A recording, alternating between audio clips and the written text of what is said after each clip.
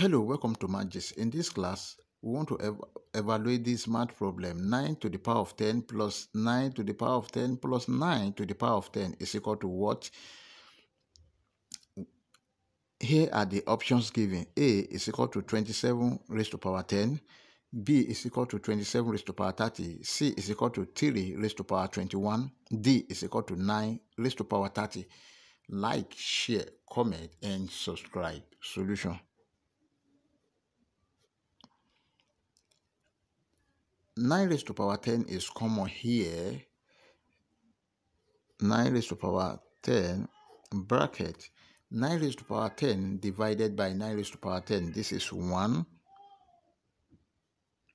plus this 9 raised to power 10 divided by this 9 raised to power 10 this is also 1 plus this 9 raised to power 10 divided by this 9 raised to power 10 this is also another 1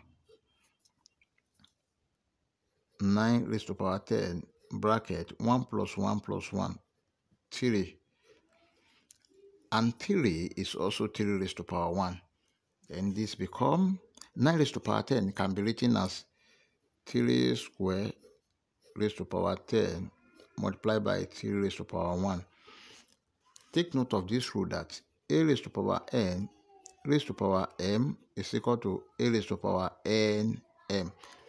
Then this is 3 raised to power 2 times 10, 20 multiplied by 3 raised to power 1.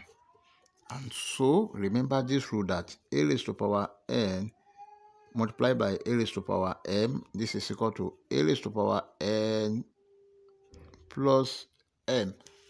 And this is 3 raised to the power 20 plus 1 which is equal to 3 raised to the power 21. Final answer is 3 raised to power 21. Let's check the option to know the correct one.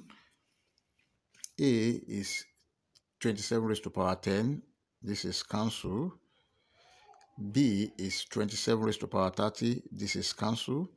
C is 27 is C is 3 raised to power 21. This is the correct option.